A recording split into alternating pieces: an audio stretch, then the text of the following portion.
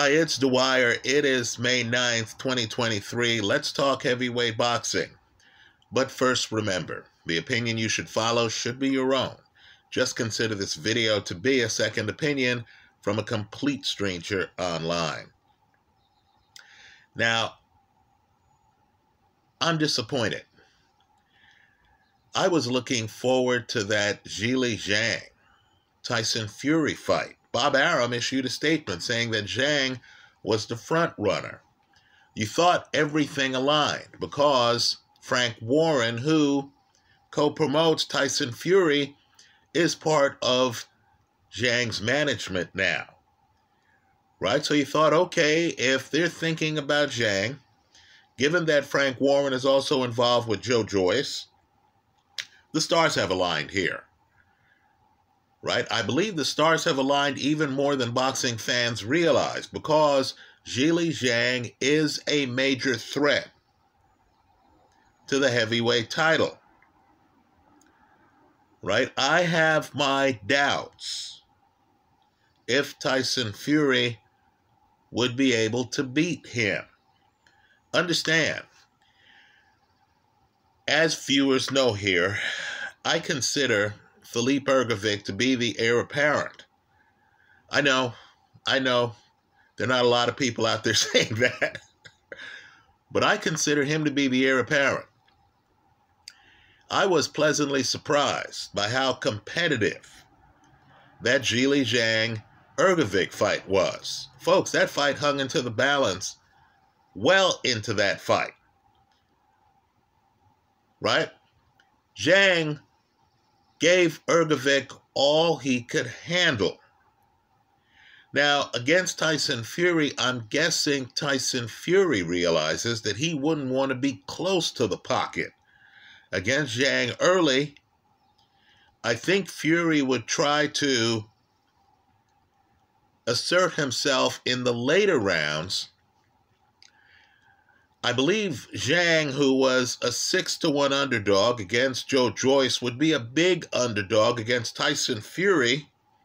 I don't think the public appreciates how good a boxer Zhang is, and the fact that Fury, while he would have a foot speed advantage, would be at a disadvantage in the pocket because he would not be able to clinch. Zhilei Zhang like he clinched people like Derek Chisora in the past. So he would have to stay away, and there is a question. Let's be clear here. There is a question on whether Fury in his mid 30s still has the legs and the timing that he had against Vladimir Klitschko when he first won the title several years ago right? Understand, power's the last to go. So Zhilei's still hitting hard, folks, just like George Foreman, well into his 40s, was hitting hard. But timing and your legs are the first to go. Right? Age is a strange thing. Let me also say, too, against a skilled southpaw who could lead with power shots and who is two handed, right? Would Fury be able to go southpaw against Zhilei Zhang and be effective? Right? One wonders. Also, Fury, no one wants to talk about it, but Fury's been down in a number of fights.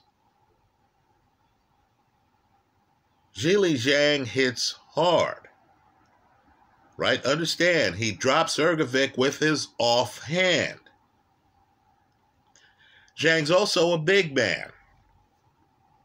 He's around six six, So he wouldn't be looking up at Fury that much. And he certainly wouldn't be bashful about being on his front foot against Tyson Fury. So I was looking forward to that fight. I don't care about heavyweight tournaments that are supposed to happen after big fights. Right? Had Ali been scheduled to be in some heavyweight tournament after um, a scheduled fight against Joe Frazier, who would care about the tournament? the champ would have to get to the tournament first. The Zhang fight was big. Also, I don't know what's happening in boxing. Understand, if you were to look up the biggest casinos in the world, some of the casinos in Macau would show up on your radar. Right? Understand, a lot's happening in Asia right now. If you don't believe that China is the most populated country in the world, then you might believe India is. Right? A lot's happening in that part of the world. Here you have Zhang, who's a major threat to the throne and who came up in the Chinese amateur boxing system. This is a guy who represented China in more than one Olympic Games. This is a former silver medalist in the Olympic Games. Right? So we're all looking, we're all distracted by looking at Anthony Joshua, right? Who couldn't stop Jermaine Franklin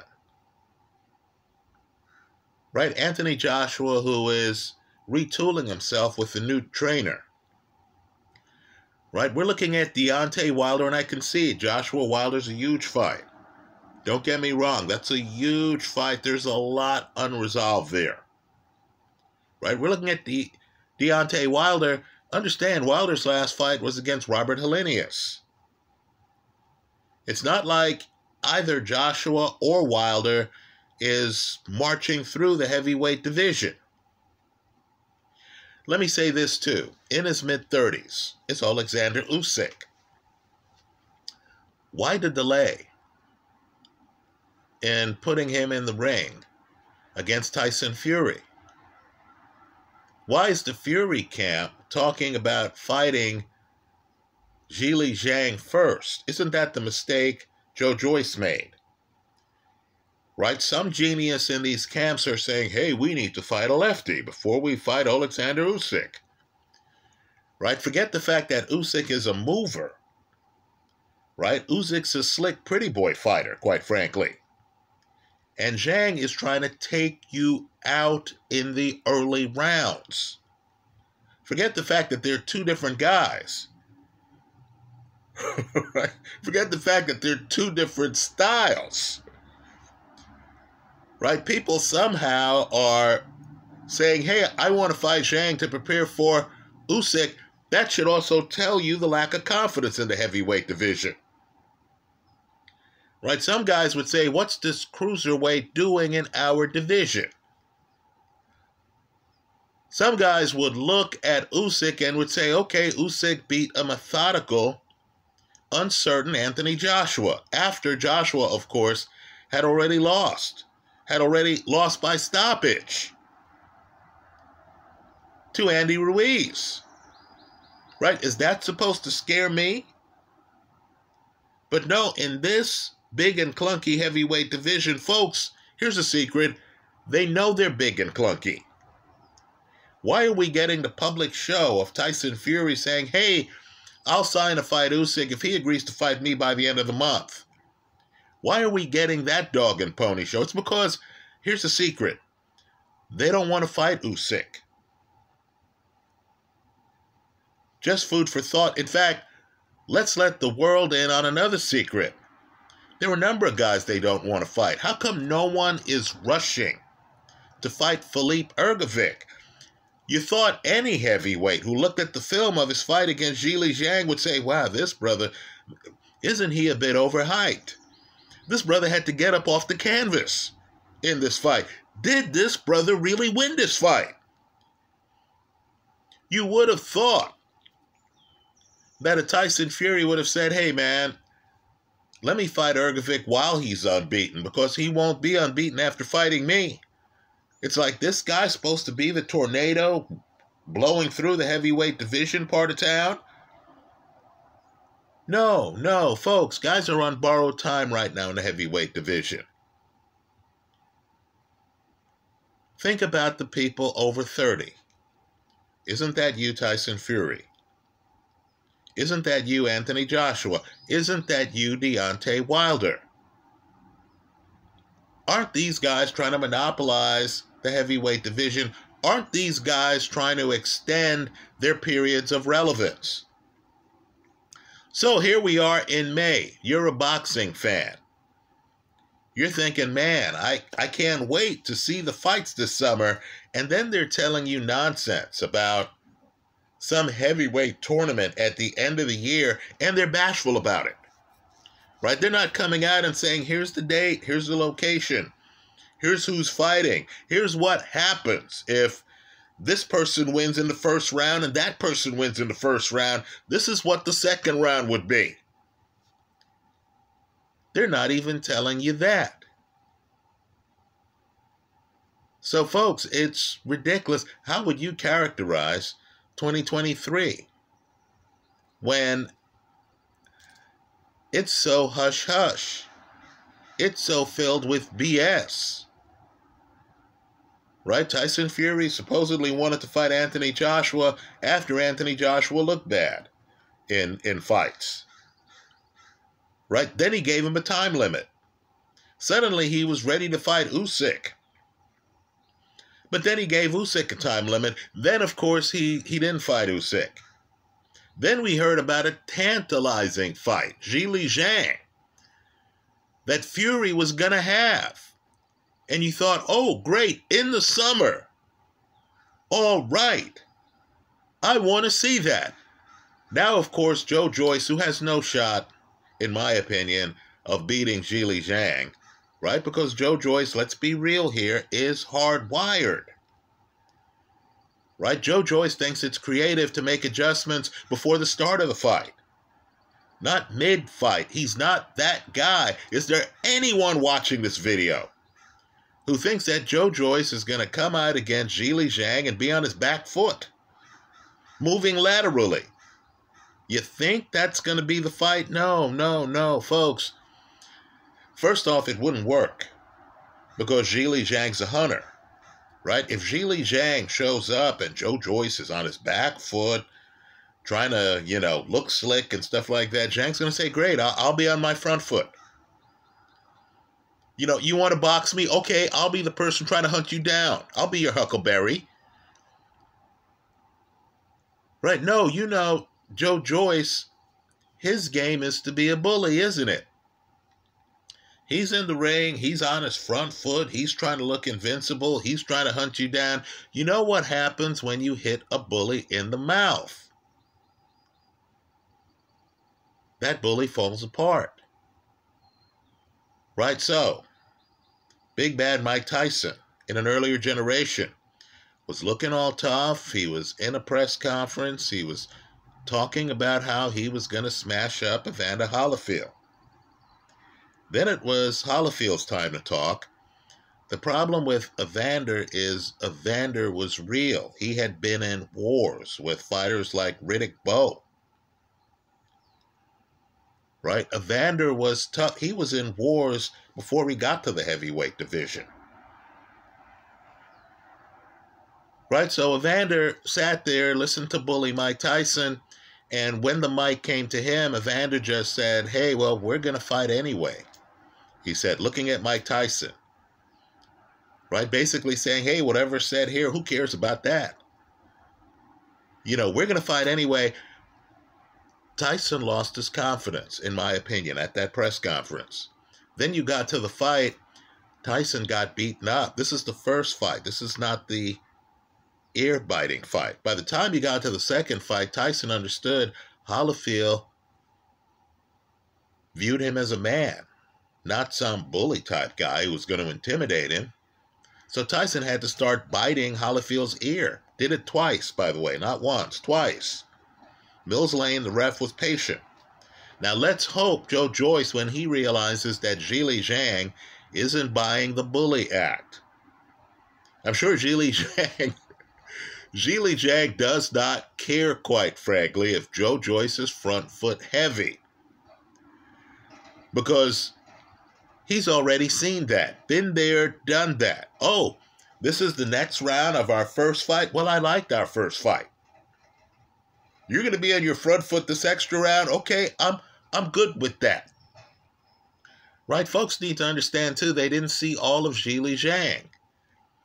He didn't even have to show you a lot of right hands in that fight because his left hand was landing like a metronome. Right? And so Joe Joyce is going to lose to Zhang. The problem is it clouds whatever nonsense tournament they're telling us about that's going to happen later in the year. You know, too, that tournament is going to lack credibility, quite frankly, if they have the tournament and you don't hear Usyk's name as a participant. Right? You can't announce a heavyweight tournament and then exclude guys with heavyweight titles who actually want to participate in the tournament. Right? And so, you know, I'll just say this too. Let's say Fury's in the tournament. Look, I believe the defining series of fights for this era in the heavyweight division has been Fury against Wilder. But, folks, they've already fought each other three times. Right? Lord knows this heavyweight division has a bunch of other guys in it. Right? How how are they going to structure this to get you to look away from Martin Bakole, Jared Anderson, Andy Ruiz, who still, as I make this video, at least in my opinion, has the fastest hands in the heavyweight division. Right, so let's see what happens. I'm expecting Zhilei Zhang to take care of Joe Joyce again. What I'm hoping for, what I'm hoping for is for Frank Warren to get everyone in a room and for Joe Joyce to accept step aside money and understand here it actually would work out well for him. Because if Zhilei Zhang were to beat Tyson Fury, Joe Joyce has a rematch clause. You can work out the deal so Joe Joyce is the next in line to fight Zhilei Zhang. Only this time it would be for the heavyweight title. Right? So a lot's happening at heavyweight, just not the right things. Let me also make another point, too. And I know it's going to sound ridiculous, and I agree. The guys who are in their 20s are on the younger side of being in their 20s, right? But I need for people to realize that Ali wins the heavyweight title at 22 years old. Look it up. Mike Tyson younger than that. Right now, while I say heavyweights age more slowly than everyone else, even I'm surprised at how thoroughly the current heavyweight division has been able to exclude heavyweights in their 20s. Right? You look through history all of these guys. George Foreman wins the heavyweight belt in his 20s. Right? We somehow have said, hey, we're going to have tournaments, and if you're under 30, you're not invited. Let me just say, too, that even the guys I'm talking about here was threats to the throne. Zhilei Zhang, folks, he's late 30s, early 40s right? I believe he wins his silver in the 2008 Olympics. Filip Hrgovic, I believe he's now in his 30s. Right, so let's loosen this thing up. Let's actually include more heavyweights in what's happening. Let's include more heavyweights in the mix here. Right? I also personally because I'm hoping to win a bet. I personally want to see Zhilei Zhang in the ring against Tyson Fury. Fury is infuriating. How could you have his talent and somehow, how could you fight Vladimir Klitschko? Deontay Wilder. Let's remember, he wanted to fight Anthony Joshua when Anthony Joshua was on top. Right? He had problems, of course, with the British Boxing Board. Right? They're onerous. They're onerous. Um, UK, if you want to know your biggest enemy, it's your regulatory body. Right? That's tough on fighters. Well, Fury was dealing with the regulatory body, right? Fury himself was having mental health problems, right? So I imagine getting insurance for his fights was a challenge. I'm sure there are a lot of excuses that could be made, but at one point, Fury was compelling. He was the lineal. He wanted to fight Joshua. He travels to the United States to fight Deontay Wilder. Now, you're telling me that guy, that guy, can't sign the dotted line and give us a date certain to fight an Olympic gold medalist who was undisputed at cruiser?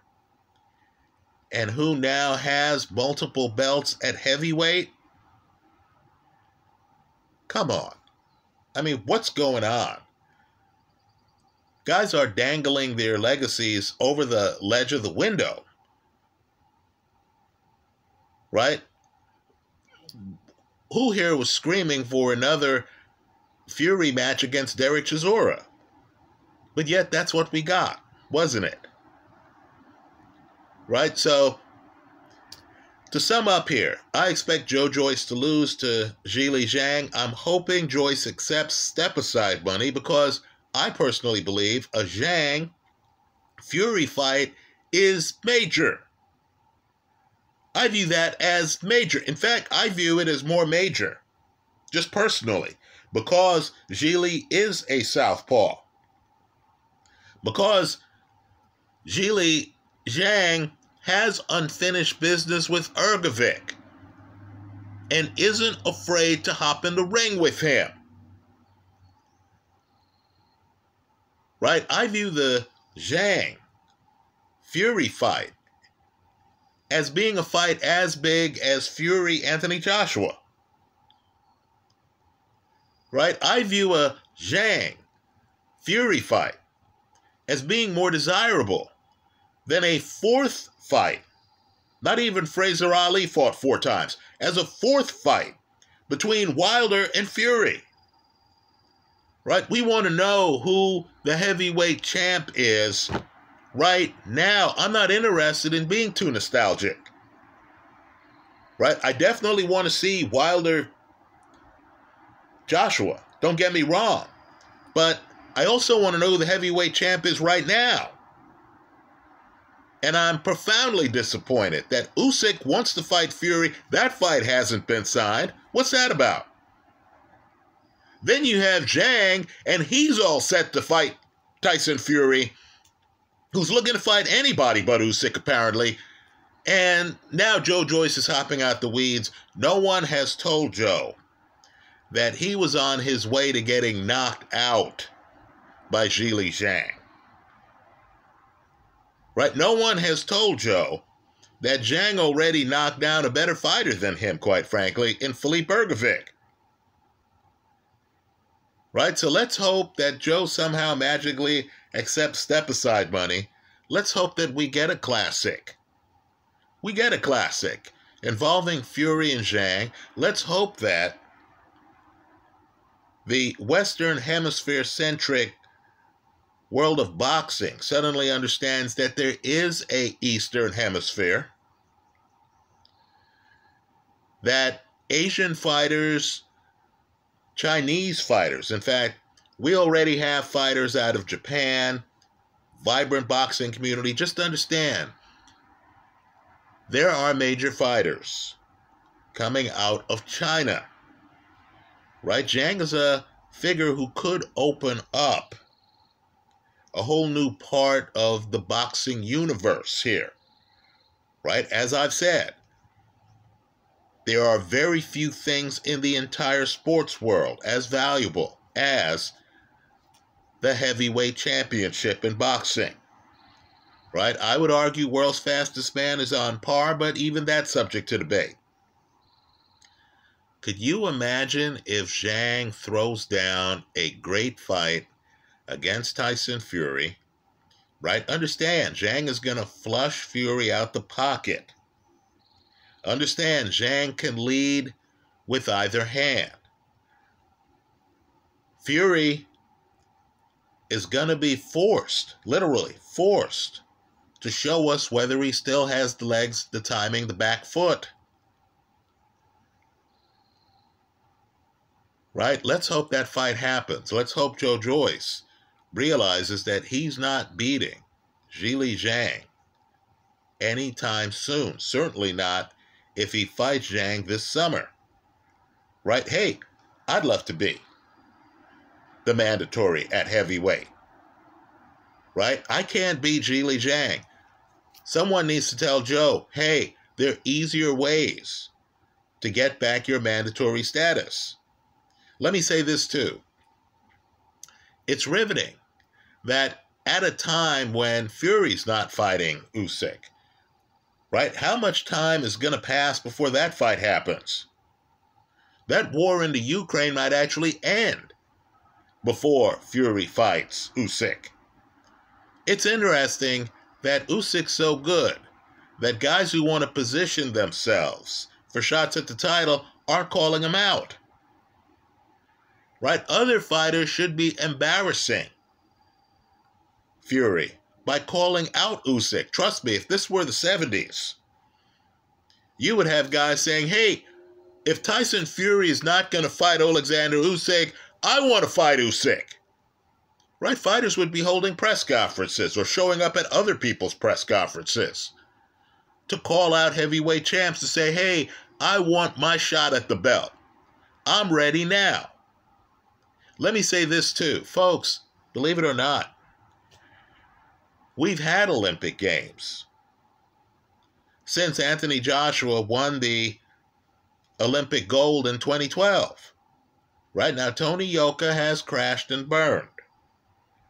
Right? But understand, there's another Olympic champion out there. When are young guys going to start yelling? No, I'm not saying any of them are ready right now, but understand that doesn't stop the hunger. When are young guys going to start criticizing the boxing establishment for freezing out the 20 somethings in the heavyweight division? Right? I'm hoping some young guys are going to start saying, hey, look, man, you know, all of these guys belong in a retirement home. You know, I'm here now and I'm ready. Right? I'm not saying any are, but I couldn't imagine Ali back in the day being passed over and the 30 something guys aren't even fighting each other. Right? Wilder Joyce, how many years is it going to take for them to get in the ring together? Right? Fury Usyk, come on now. Right? The heavyweight belt is being held hostage. I'm not saying Tyson Fury isn't a great fighter. Right? He's one of the best I've seen at heavyweight. But let's just say you look at Ali, and folks need to understand he fights Frazier three times. I believe he fights Ken Norton three times. Right? He hops in the ring with George Foreman. When he's washed up, he hops in the ring with Larry Holmes. Right? He fights Liston twice. Right? Uh, you know, guys actually used to fight each other. I don't know what's happening right now in the heavyweight division where Usyk can't get a match with Fury, right? Where we're still waiting for Joshua Wilder, right? Where 20 somethings are just frozen out of the conversation entirely.